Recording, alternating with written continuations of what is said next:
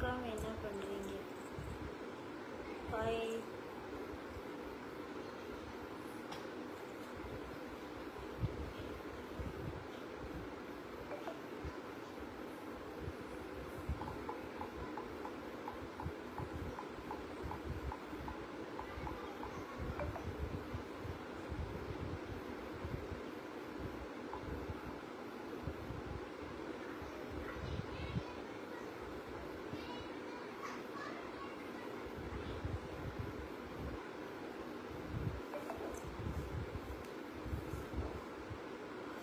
வணக்கம்